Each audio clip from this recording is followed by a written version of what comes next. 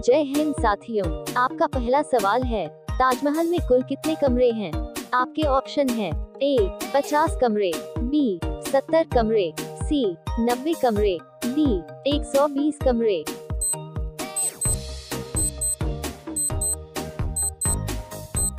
आपका सही जवाब है, ऑप्शन डी 120 कमरे। आपका अगला सवाल है, अयोध्या किस नदी के किनारे स्थित है?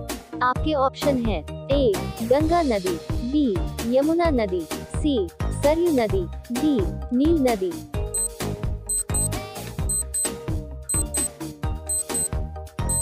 आपका सही जवाब है। ऑप्शन सी सरयू नदी। आपका अगला सवाल है, एक इंसान बिना सोए कितने दिनों तक रह सकता है? आपके ऑप्शन है ए तीन दिन बी आठ दिन सी ग्यारह दिन डी सोलह दिन।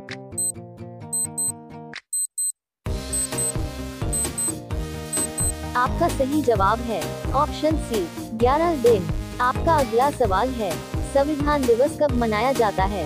आपके ऑप्शन है ए 15 अगस्त बी 26 नवंबर, सी 26 जनवरी डी 5 अप्रैल।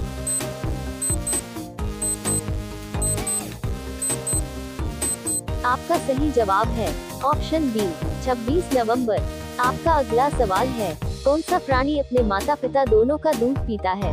आपके ऑप्शन है ए कुत्ता बी खरगोश सी बिल्ली डी बकरी।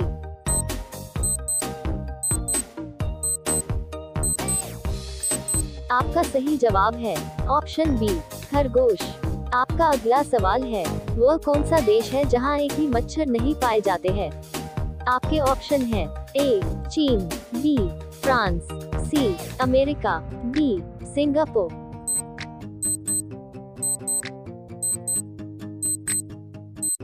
आपका सही जवाब है, ऑप्शन बी, फ्रांस। आपका अगला सवाल है, छोटा भारत किस देश को कहा जाता है? आपके ऑप्शन है, A, Bhutan, B, Fiji, C, Nepal, D, Pakistan.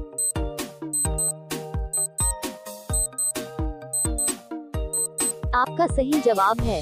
Option B Fiji को आपका अगला सवाल है, दिल्ली से पहले भारत की राजधानी कहाँ थी? आपके ऑप्शन है, A, Mumbai, B, Agra, C, Lucknow, D, Kolkata.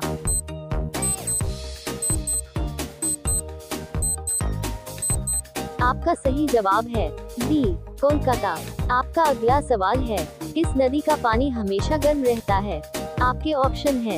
ए गंगा नदी बी नील नदी सी अमेजन नदी डी ब्रह्मपुत्र नदी।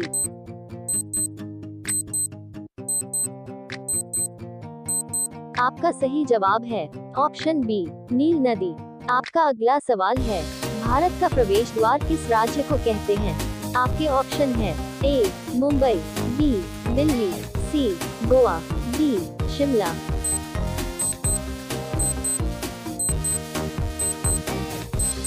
आपका सही जवाब है ऑप्शन ए मुंबई।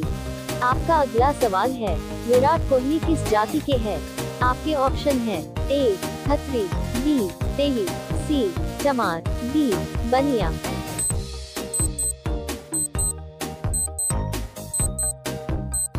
आपका सही जवाब है ऑप्शन ए खत्री।